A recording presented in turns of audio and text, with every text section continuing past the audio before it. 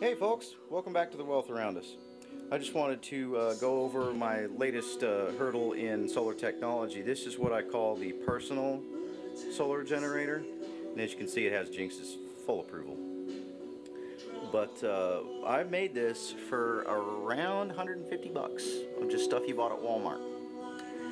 So whoever says solar's expensive and not practical needs to talk to me because I'll point you in the right direction. No problem. I saw uh, engineer uh, 17 Sarah, whatever the guy's name is. Uh, he's connected with Such and all that, and he had said that uh, he just doesn't see solar being practical, and I can total, I can totally, totally jive with that.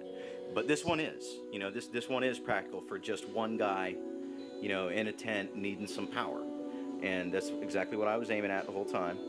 Now, we had some stuff stuffed in here because there's some extra room in there for uh, some other supplies and stuff, but this is just the alligator clips and stuff that come with it for hooking it up to a car battery or some other ATV battery or any kind of deep cycle battery you want to charge. Makes it a lot easier than messing with terminals. All this wiring is from the solar panel, and as you can see, that's how it hooks up to charge.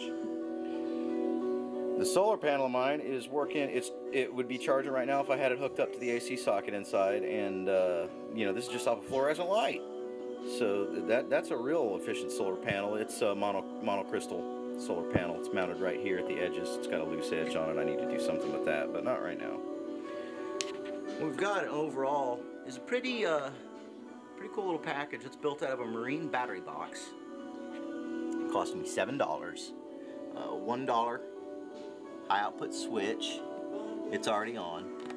And uh, what we're going to do now, show you what it's made out of internally. As you can see, that's a 410 watt inverter. We've got 410 watts continuous power. Uh, two of these and a USB. That's great for my little droid, by the way, because that's what it charges on USB. This is Hank's circuit. Now, this is a simple two-way circuit with a breaker and it's all made out of wires and parts like that and connectors. It's just a matter of knowing how to operate the wiring. This would usually be what you want to hook up AC stuff to when you're using it, which it is right now. Let's see what we're pulling. 120, nice. Nice. Okay.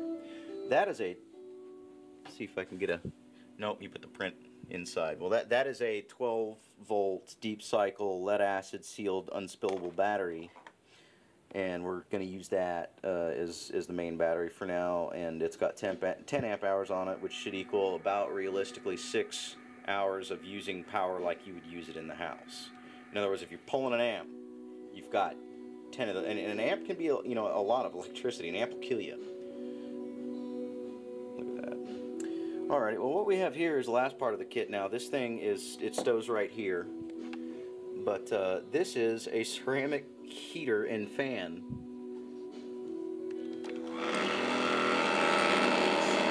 And it's a little noisy and ratty. And as you can see though, it pulled it down a volt.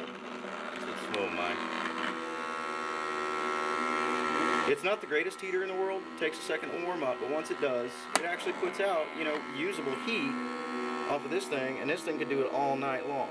You notice that isn't draining real fast or anything. This is not like a huge, huge AC device or anything. I only think it, think it has like 100 volts pulse, but uh, it's it's uh, putting out a lot of good heat. Now, in the situation where you're trapped in your car, or uh, we'll just watch it dance around there a little bit. But uh, in a situation where you're trapped in your car or whatnot, that's putting out enough BTUs to heat like a, a tent cot or a small one-man tent or anything like that. And you know, you can run it off solar all day long, run it off of uh, the stored power at night, and that's you know warmth. So that's another good thing to have, and, and that I equipped it for just for using in camping situations and whatnot. And uh, we're to try hooking some other things up to it. As you can see, the box has uh, upside down ports for all your wires and stuff that just hang over the edges of this. So uh, it's pretty much weather resistant too. It can be a little moist out, it can be a little bit uh, stormy, and it's still going to be okay. I'm going to weatherproof that solar panel, make sure that it's sealed and everything doesn't have any shorts. But uh, that's what you're looking at, people. It was, you know, I've seen these retailing for any anything like this, even hand built retailing for three, 350, 400 sometimes even for a reliable system. And this is all you need, and I built it for about 150. So check your local Walmart, check your local Craigslist, uh, see what you can get your hands on because I'm sure that people out there that know more than I do about this sort of stuff could build a lot better and a lot more compact. I just, you know, was taking what I was getting and this is basically what I came up with and it certainly seems to serve its purpose. There you have it, personal solar generator for low, low bucks and I have energy anywhere I want to go on the earth now as long as I want it. Anywhere the sun shines, I'm cool. I'll have warmth. I'll be able to charge my phone and call somebody. Hell, I'll be able to mix margaritas in the middle of the Congo if I want to and vacuum, you know, my hut out.